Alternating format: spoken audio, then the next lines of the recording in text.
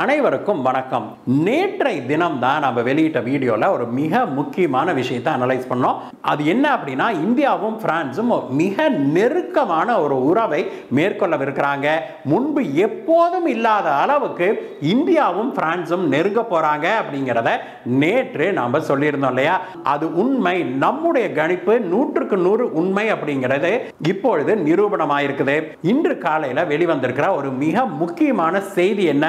அப்படின்னு பார்த்தோம் அப்படின்னா பிரான்ஸ் அதிபரான திரு மேக்ரோன் பாரத பிரதமர் திரு நரேந்திர மோடி அவர்களை திடீர்னு தொலைபேசியில் அழைச்சு பேசினாரு அப்படின்னும் அவங்க பல்வேறு தரப்பட்ட விஷயங்களை பேசிக்கிட்டாங்க அப்படிங்கிற செய்தியும் வெளிவந்திருக்குது.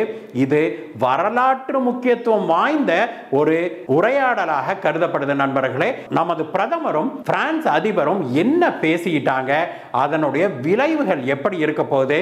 இந்த பிராந்தியம் மட்டும் இல்லாமல் உலக அளவில் இந்தியா இந்தியாவுக்கு இது எந்த அளவுக்கு ஒரு பெரும் ஊக்கத்தை ஒரு பெரும் செல்வாக்கு உயர்வை கொடுக்க போகுது அப்படிங்கிறத இந்த வீடியோவில் நம்ம பார்க்கலாம்.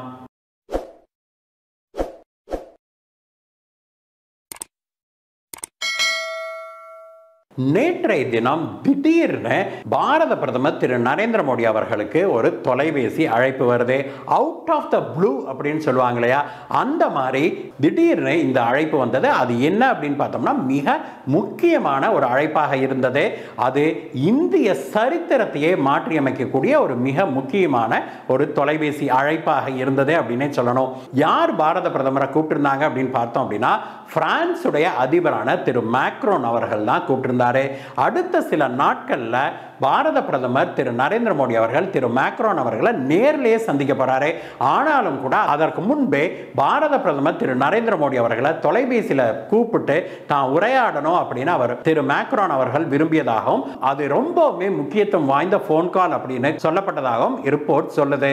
பாரத பிரதமர் திரு நரேந்திர மோடி அவர்கள் திரு மேக்ரோனோடு பல முக்கியமான விஷயங்களை பேசியதாக சொல்லப்படுது. இதுல பிரான்ஸ் அதிகாரிகள் வெளியிட்ட ஒரு செய்தி குறிப்பில் என்ன சொல்லியிருக்கிறாங்க அப்படின்னா பிரான்ஸ் அதிபர் திரு மேக்ரோன் பாரத பிரதமர் திரு நரேந்திர மோடி அவர்களோட மிக முக்கியமாக உலக ஸ்திரத்தன்மை பற்றியும் உலகில் எந்த ஒரு பிராந்தியத்திலையும் எந்த ஒரு நாடும் ஆதிக்கம் செலுத்தாத அளவுக்கு நாம் செயல்பட வேணும் அப்படின்னும் இந்திய பிரதமரோட அவர் பேசினாரு அப்படின்னு சொல்லப்படுது. அது மட்டும் இல்லாமல் ஆப்கானிஸ்தானில் இந்தியாவுடைய ரோல் எப்படி இருக்க போகுது? இதனுடைய முக்கியத்துவம்லாம் எப்படி இருக்க போகுது?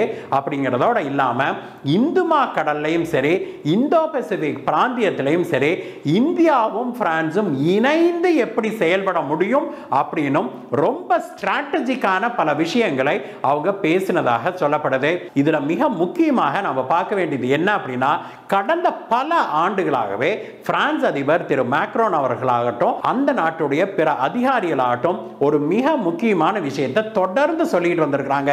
அது என்ன அப்படின்னா அமெரிக்காவை விட இந்தியாவை ஒரு நிலையான நண்பனாக ஒரு நல்ல நண்பனாக நாங்கள் கருதுகிறோம் அப்படின்னு அவங்க பல முறை சொல்லியிருக்கிறாங்க. அதாவது India is more reliable than the US அப்படிங்கிற செய்தியை ஒரு முறை இருமுறை அல்ல பல முறை பிரான்ஸ் அதிகாரிகள் சொல்லியிருக்கிறாங்க. பிரான்ஸ் அரசியல்வாதிகள் தலைவர்கள் பேசியிருக்கிறாங்க. அது ஒரு புறம் இருக்க இன்னொரு புறம் பார்த்தோம்னா அமெரிக்கா இங்கிலாந்தோடு கைகோர்த்து கொண்டு ஆஸ்திரேலியாவோட ஆக்கஸ் டீல் போட்டது பிரான்ஸுக்கு பயங்கரமான கடுப்பு. அது மட்டும் இல்லாமல் ஆஸ்திரேலியா கூட ஆக்கஸ் டீல் போட்டது மட்டும் இல்லாமல் ஆஸ்திரேலியாவுக்கு நாங்கள் நியூக்ளியர் சப்மரின் டீல் கொடுக்குறோம் அப்படின்னு சொல்லி ஒரு மிகப்பெரிய நியூக்ளியர் சப்மரின் வாங்குகிற டீலை ஆஸ்திரேலியாவின் மீது திணிச்சிருக்குது அமெரிக்கா. இதனால ஆஸ்திரேலியா என்ன பண்ணியிருக்குது ஏற்கனவே நூறு பில்லியன் ஆஸ்திரேலியன் டாலர் அளவுக்கு நாங்க பிரான்ஸ் கிட்ட சப்மரின் வாங்குறோம் அப்படின்னு சொல்லி போட்டிருந்த அக்ரிமெண்ட்டை ஆஸ்திரேலியா ஒருதலை பட்சமாக கேன்சலும் பண்ணுச்சு. எந்த விதமான முன்னறிவிப்பும் செய்யாமல் இதை அமெரிக்காவும் ஆஸ்திரேலியாவும் செய்தது பிரான்ஸுக்கு பயங்கரமான கடுப்பு. இதை ராஜதந்திர வார்த்தைகளை எல்லாம் மீறி இவங்க புறமுதகில் குத்திட்டாங்க அப்படின்னு கூட பிரான்ஸ் அதிகாரிகள் சொன்னதை நம்ம பார்த்தோம்.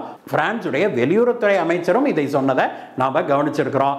இப்படிப்பட்ட ஒரு சூழ்நிலையில் தான் பிரான்ஸ் அதிபர் திரு மேக்ரோன் அவர்கள் பாரத பிரதமர் திரு நரேந்திர மோடி அவர்களை அழைச்சு இந்துமா கடல் பிராந்தியம் மற்றும் இந்தோ பசிபிக் பிராந்தியத்தில் செக்யூரிட்டி தொடர்பாக அதாவது பாதுகாப்பு தொடர்பாக பிரான்ஸும் இந்தியாவும் எப்படி ஒருங்கிணைந்து செயல்பட முடியும்? குறிப்பாக இந்த கடற்பரப்பில் நாம் செயல்படுவதற்கு நாம் நாம் என்னெல்லாம் கூட்டாக செய்ய முடியும் அப்படின்னு அவங்க பேசினதாக சொல்லப்படுது.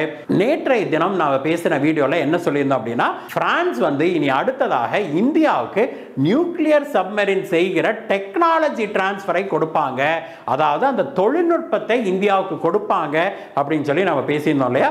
அது தொடர்பாக இரண்டு தலைவர்களும் பேசினாங்களா அப்படிங்கிற செய்தி வெளியாகவில்லை. ஆனால் அதற்கு அச்சாரமிடும் விதமாகத்தான் இந்த தொலைபேசி உரையாடல் நடந்திருக்குது அப்படிங்கிறத நம்ம யாருமே மறுக்க முடியாது. ஏன்னா பிரான்ஸ் இப்பொழுது தொடர்ந்து சொல்லுகிற விஷயங்கள் என்ன அப்படின்னா அமெரிக்கா எங்களை காலவாரிருச்சு. அதனால இந்தோ பசிபிக் பிராந்தியத்திலையும் இந்திய பெருங்கடல் பிராந்தியத்திலையும் எங்களுடைய ஸ்ட்ராட்டஜிக் பார்ட்னராக நாங்க இந்தியாவை தான் பார்க்குறோம் அப்படின்னு பிரான்ஸ் அதிகாரிகள் தொடர்ந்து சொல்லி வர்றாங்க. அது மட்டும் இல்லாம பிரான்ஸ் வந்து இந்தியாவுக்கு பல அதிநவீன தொழில்நுட்பங்களை குறிப்பாக பாதுகாப்பு தொடர்பாக ராணுவ தளவாடங்கள் தொடர்பாக பல அதிநவீன தொழில்நுட்பங்களை இந்தியாவுக்கு வழங்குவதற்கு பிரான்ஸ் முன்வரும் அப்படின்னும் எதிர்பார்க்கப்படுது. இந்த உரையாடலின் போது திரு மேக்ரோன் அவர்கள் என்ன சொல்லியிருக்கிறார் அப்படின்னா இந்தியாவும் பிரான்சும் இரண்டு நெருங்கிய நண்பர்களாக வலம் வந்து கொண்டிருக்கிறோம். குறிப்பாக இருவரும் ஒருவரை ஒருவர் மதித்து ஒருவர் ஒருவர் மீது மரியாதை செலுத்தி இருவரும் ஒரு சமமான பார்ட்னர்களாக பங்காளி பங்காளிகளாக நாம் விளங்குகிறோம். இப்படிப்பட்ட ஒரு ஸ்ட்ராட்டஜிக் பார்ட்னரை நாங்க என்றைக்கும் இழக்க விரும்ப மாட்டோம். இந்தியாவை நாங்க மிக முக்கியமான ஒரு ஸ்ட்ராட்டஜிக் பார்ட்னராக கொண்டிருப்பதில் மிகுந்த மகிழ்ச்சி அடைகிறோம் அப்படின்னு அவர் சொன்னதாக சொல்லப்படுது. அது மட்டும் இல்லாம அவர் மேலும் என்ன சொன்னார்னா நம்முடைய இரண்டு நாடுகளுக்கு இடையே மியூச்சுவல் ட்ரஸ்ட் இருக்குது. நாம் வந்து ஒருத்தரை ஒருத்தரை புறமுதுகில் குத்த மாட்டோம். ஒருத்தரை ஒருத்தர் நாங்க ஏமாற்றி கொள்ள மாட்டோம். அந்த மாதிரியான ஒரு சிறப்பான நட்பை நாங்க இந்தியா கூட கொண்டிருக்கிறோம். அதனால இந்திய மக்களோடு நாம் கைகோர்த்து பயணிக்க தயாராக இருக்கிறோம் அப்படின்னு சொல்லி பாரத பிரதமரிடம் அவர் சொன்னதாகவும் பாரத பிரதமர் திரு நரேந்திர மோடி அவர்களும் எதிர்வரும் காலங்களில் இந்தியாவுடைய ஒரு ஸ்ட்ராட்டஜிக் பார்ட்னராக மிக முக்கியமான ஸ்ட்ராட்டஜிக் பார்ட்னராக பிரான்ஸ் விளங்கும் அப்படின்னு தானும் எதிர்பார்ப்பதாக அவர் சொல்லியிருக்கிறாரு.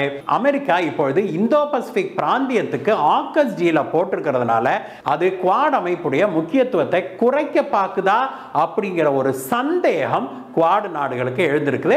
குறிப்பாக இந்தியாவுக்கும் ஜப்பானுக்கும் இந்த ஒரு சந்தேகம் எழுந்திருக்குது. நம்மளை கழட்டி விட்டுவிட்டு அமெரிக்கா இங்கிலாந்து ஆஸ்திரேலியாவோட கைகோர்த்துக்கிட்டு தனி கட்ட பஞ்சாயத்து பண்ண போகுதா அப்படிங்கிற ஒரு சந்தேகம் இந்தியாவுக்கு எழுந்திருக்குது. அதனால இந்தியாவும் ஐரோப்பிய நாடுகளை பெரிய அளவில் நெருங்க போகுது அப்படிங்கிறதுக்கான ஒரு அச்சாரமாக தான் பிரான்ஸ் அதிபருடைய இந்த தொலைபேசி உரையாடலை நாம் பார்க்க முடியும் நண்பர்களே. எது எப்படி இருந்தாலும் நண்பர்களே இதுவரைக்கும் இந்தியா தன்னுடைய உறவுகளை ஒரு அழகாக பேலன்ஸ் பண்ணிட்டு போயிருக்கிறத பார்த்துருக்குறோம். நாம சுதந்திரம் அடைந்த காலத்தில் இருந்தே நாம் இப்படித்தான் உலக அரங்கில் ஒரு பேலன்ஸ்டு ரிலேஷன்ஷிப்பை கொண்டிருக்கிறோம். இந்த முறை ஒரு மிக கன்ஃபியூசிங் ஸ்டேட்டில் வேர்ல்டு பொலிட்டிக்ஸ் இருக்குது அப்படிங்கிறத நாம் மறுக்க முடியாது. இந்த காலகட்டத்தில் நல்ல வேலையாக நம்முடைய நாட்டின் பிரதமராக திரு நரேந்திர மோடி அவர்கள் இருக்கிறாரு அவர் மிகுந்த தொலைநோக்கு பார்வையும் மிகப்பெரிய அளவில் ஒரு ஸ்ட்ராட்டஜியை வகுக்கக்கூடிய ஒரு மிகப்பெரிய தலைவராக அவர் விளங்குறது நம் அனைவரும் செய்த பாக்கியமே அப்படின்னு சொல்லணும். India is in good hands அப்படிங்கிறத நம்ம மறுக்க முடியாது. அதனால தான் பிரான்ஸோடு நமது பிரதமர் பேசியிருப்பது சரித்திர முக்கியத்துவம் வாய்ந்ததாக அமையக்கூடும் அப்படிங்கிறது நம்முடைய கணிப்பாக இருக்குது. இந்த வீடியோவை பற்றிய உங்களுடைய கருத்துக்களை சொல்லுங்கள் நண்பர்களே. மீண்டும் உங்களை வேற ஒரு வீடியோவில் சந்திக்கிறேன் கைஸ் பை பாய்